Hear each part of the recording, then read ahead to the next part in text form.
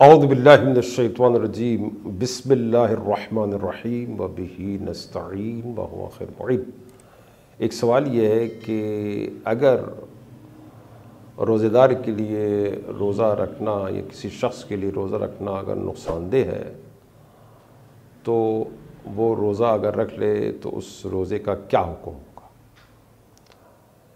तो फरमाते हैं कि अगर उसको ये यकीन और इतमान है मसन कि रोज़ा मेरे लिए नुकसानदेह है और उसी नुकसानदेह होने के बावजूद भी वो शख्स जो है वो रोज़ा रख लेता है तो उस सूरत में तकरीबन तमाम फ़ुका ये फरमाते हैं आगे सिस्तानी आगे खुरासानी और आगे रहबर भी ज़रा कि उसका रोज़ा बातिल है। उसको दोबारा जो है उस रोज़े की कज़ा करनी पड़ेगी। लेकिन आगा सिस्तानी फरमाते हैं कि अगर रजान वो रोज़ा रख ले, यानी उसको यकीन और इतमान नहीं है।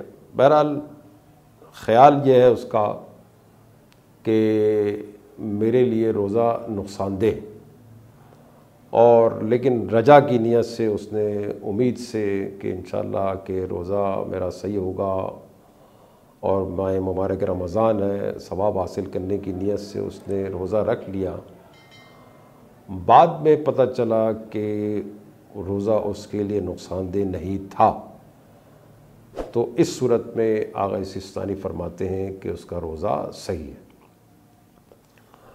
लेकिन आगा वही तो खुरासानी फरमाते हैं कि अगर उसका कस्द क़ुरबत हो, रोज़ा रखने की नीयत से उसने कसद क़ुरबत से क्योंकि बाद जब नुकसानदेह है रोज़ा तो उस वक्त कसद क़ुरबत जो है वो मतहक़ होना मुश्किल होता है, लेकिन अगर कसद क़ुरबत साबित हो जाए मतहक़ हो जाए और क़ुरबत की नीयत से अगर वो रोज़ा रख ले और बाद में पता चले कि रोज़ा उसके लिए नुकसानदेह नहीं था तो सूरत में उनके नज़दीक भी जो है वो रोज़ा सही होगा, बातिल नहीं होगा। तो बाद में भी उस रोज़े की कज़ा करने की ज़रूरत नहीं है। वाखिर दावाना अनिलहमदिल्ला रबालमीन